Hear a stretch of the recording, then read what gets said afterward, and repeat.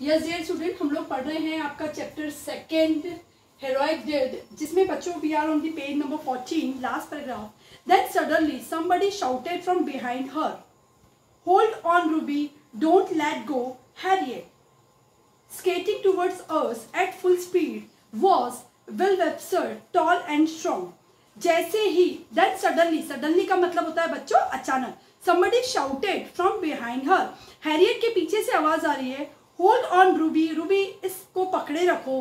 Don't let गो उसे छोड़ना मत Harriet skating towards us at a full speed was a Will Webster Will Webster जो है, वो इनके पीछे से हैरियट के पीछे से आवाज़ लगाते हुए दोनों को देखता है कि रूबी जो है, वो पानी में है और हैरियट इसको सेव करने की, बचाने की कोशिश कर रही है। विल विल वेब्सर है, वो ये कह रहा है कि इसको पकड़े रखो, छोड़ना नहीं ताकि रूबी की जान बच सके।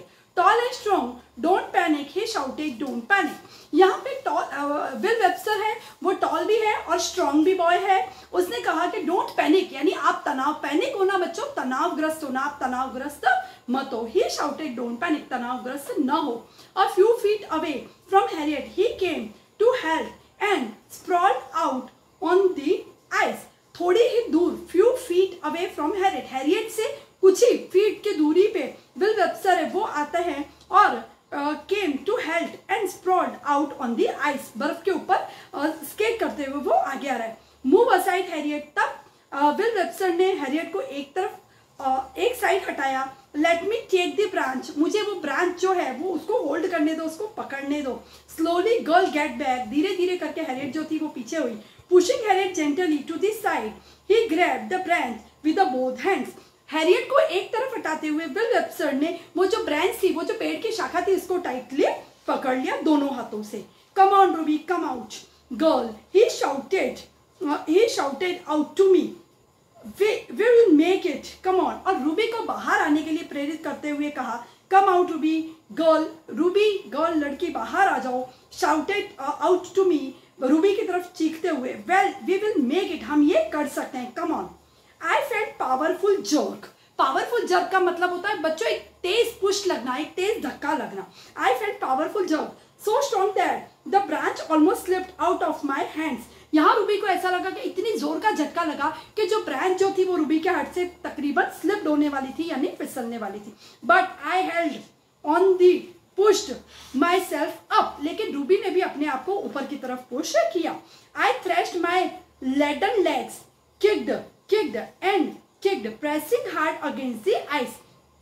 यहाँ पे रूबी ने अपने पैरों को किक्ड करना यानी अपने पैरों से ज़ोर का धक्का मारना, बर्फ़ की तरफ़, बर्फ़ की तरफ़, यानी नीचे की तरफ़ उसने ज़ोर का धक्का मारा और अपने आप को ऊपर की तरफ़ पुश किया। Pressing hard against the ice and slowly और धीरे धीरे I felt myself hauled forward out of the deep और कहीं ना कहीं रूबी को ये लगा कि धीरे धीरे करके वो वो गहराई से, गहरी बर्फ़ से, गहरे पानी से वो ऊपर आ रही थी। डार्क वाटर गहरा पानी।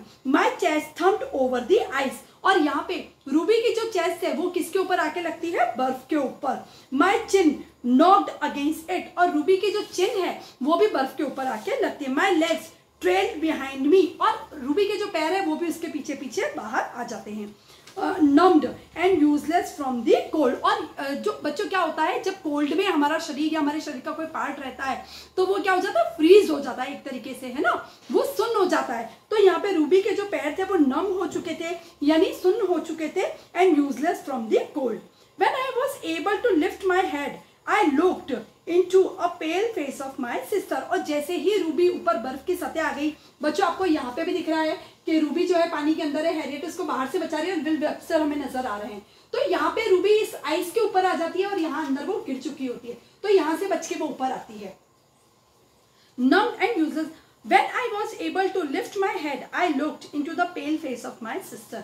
जैसे ही रूबी बच के बाहर आई उसने अपनी जो सिस्टर हैरिट है उसका दुमिल चेहरा पेल फेस जो था वो देखा tear stream down her cheeks as she whispered और हैरियट जो थी उसके गालों पे से बच्चों आँसू बह रहे थे और वो फुसफुसा रही थी वी मेड इट हमने ये कर दिखाया वी मेड इट हमने कर दिखाया।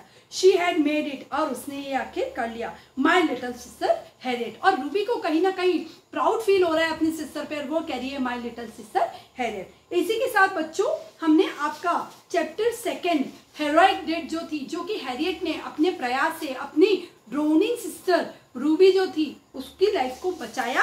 हालाँकि जो हैरियट जो थी, बच्चों, इतनी एक्टिव नहीं थी फिजिकली भी थोड़ी डम थी, लेकिन उसने प्रयास करके और एक डिटर्मिनेशन के साथ अपने सिस्टर की लाइफ जो थी, उसको भी बचा लिया। Thank you very much